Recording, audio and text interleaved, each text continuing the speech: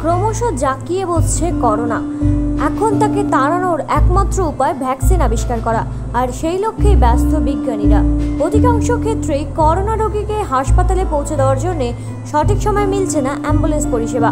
Bike বসিয়ে হাসপাতালে পৌঁছে দিলেন প্রাক্তন বাম কাউন্সিলর সুদীপ রায়।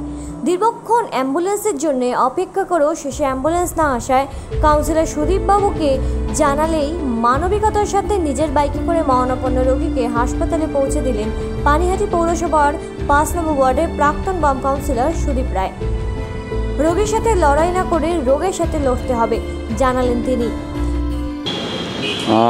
কারণটা হচ্ছে যে মূলত কারণটা যেটা সেটা হচ্ছে যে পেশেন্টটাকে আমি সেদিনকে নিয়ে যাই, পেশেন্টটা প্রচণ্ড শ্বাসকষ্ট হচ্ছিল সকাল থেকে। খবরটা যখন আমাদের পৌরসভার স্বাস্থ্য বিভাগে আসে, তখন আমাদেরই পৌরসভার স্বাস্থ্য বিভাগের একজন অত্যন্ত দায়িত্বশীল কর্মী কবিতাদি আমাকে ফোন করে জানায় যে, বাচ্চাদের এই এই ঘটনা, একটু ব্যবস্থা করে দেখো যদি কিছু করা যায়। তাই বললাম, কোভিড অ্যাম্বুলেন্সটা কোথায়? তো বলো কোভিড অ্যাম্বুলেন্সটা একটা পেশেন্ট নিয়ে কলকাতায় গেছে, ফিরতে একটু দেরি হবে। হয়তো আড়াইটে, তিনটে বেয়ে যাবে। আর আমার কাছে যখন ফোনটা আসে, তখন সাড়ে বারোটা একটা বাজে। তো আমি সঙ্গে সঙ্গে সিদ্ধান্ত নিই যে এই অবস্থায় একজনকে ফেলে রাখার থেকে একটু দায়িত্ব নিয়ে তাকে আমার বাইকে করে আমি পৌঁছে দিই। প্রথম থেকেই করোনা ভাইরাস নিয়ে আমার খুব একটা বেশি মাথা ব্যথা ছিল না। কারণ আমি করোনা ভাইরাস সম্পর্কে ডিটেলসে যখন পড়াশোনা করে দেখেছি যে করোনা ভাইরাস কখনোই ছোঁয়া থেকে হয় না, এটা ড্রপলেট থেকে হয়। আর আমি যদি একটা পেশেন্টকে আমার পেছনে ক্যারি করি, আমার সঙ্গে পিপিই থাকবে। তার পেছনে একজন থাকবে, সে তার সামনে থাকবে। ন্যাচারালি ড্রপলেটটা কোনোভাবেই আমার মধ্যে ট্রান্সমিট করার সম্ভাবনা কম। অত্যন্ত সাহস থেকে এবং আমার মৃত্যু ভয়টা একদমই নেই, কারণ খুব ছোটোবেলা থেকেই মৃত্যুর সঙ্গে আমার দৈনন্দিন যোগাযোগ ছিল। কারণ আমি নিজের হাতে প্রায় পাঁচ সাতশো মরা পুড়িয়েছি, প্রতি মুহূর্তে ইয়েতে যাওয়া, মর্গে যাওয়া, প্রতি মুহূর্তে অ্যাক্সিডেন্টে পেশেন্টকে নিয়ে যাওয়া হসপিটাল মগ এই করে আমার জীবন কেটেছে। সুতরাং সেখান থেকে মৃত্যু ভাড়া আমার খুব একটা কাজ করতো না, আর করোনা সম্পর্কে আমার যেটুকু জ্ঞান ছিল, তাতে আমি দেখেছিলাম আমি নিয়ে যেতে পারি। তো আমি ইনস্ট্যান্ট সিদ্ধান্ত নিলাম যে আমি আমার বাইকে করে নিয়ে যাব। তো আমি বাইক নিয়ে, আমারই একজন অত্যন্ত সহযোদ্ধা আমার আমার থেকে অনেক ছোট, আমার ছেলের মতো, পল্টু।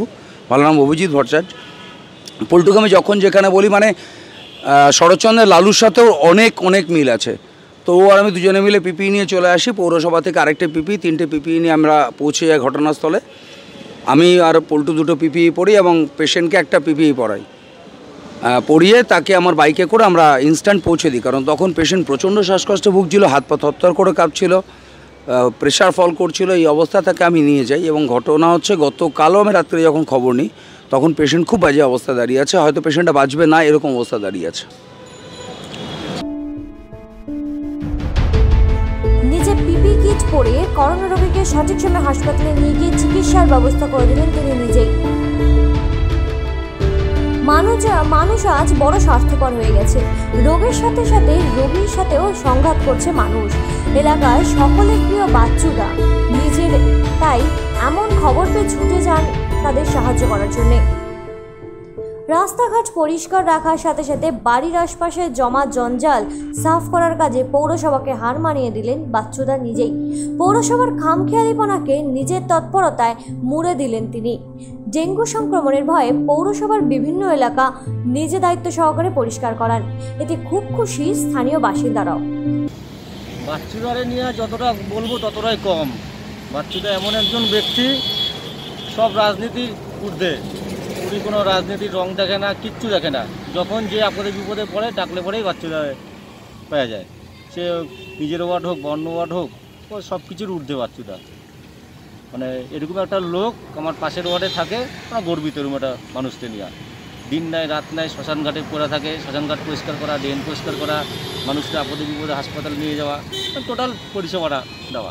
পানিহাটি বিধানসভা তৃণমূল বিধায়ক নির্মল ঘোষ জানান বাচ্চাদাকে বারংবার প্রাণের ঝুঁকি নিয়ে কাজ করতে বারণ করলেও তিনি শোনেন না। নিজের কর্তব্য পালনে নিজেকে ঠিক ব্যস্ত রাখেন। প্রাক্তন বাম কাউন্সিলর সুদীপ রায়ের বিরুদ্ধে মোটা টাকা চেয়ে এলাকার বিভিন্ন উন্নয়নে কাজ করার অভিযোগ করেন তৃণমূল বিধায়ক নির্মল ঘোষ। কাউন্সিলর তো। পৌরসভার কাউন্সিলর।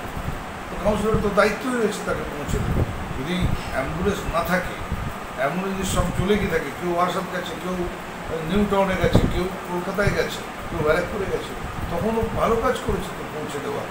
এবং যে ওই যে সুদীপ, ওর নামই হচ্ছে এখন করোনা কাউন্সিলার। ও ঠিক আছে তো ভালোই করেছে, পৌঁছে দিয়েছে।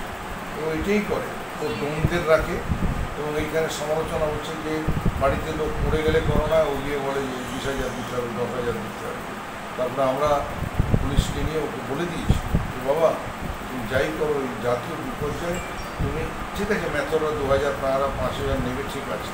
কিন্তু তুমি যে যে তুমি লোক নিয়ে আসছো, বিশ হাজার নেবে, এটা তুমি করো আমরা কষানো দিচ্ছি শুনি শুধু এমনি পরোপকারী, কিন্তু নিজের স্বার্থে পরোপকারী। পানিহাটি থেকে তন্ময় ভৌমিক এবং শ্রীঞ্চিনী প্রদায় রিপোর্ট সঠিক বার্তা।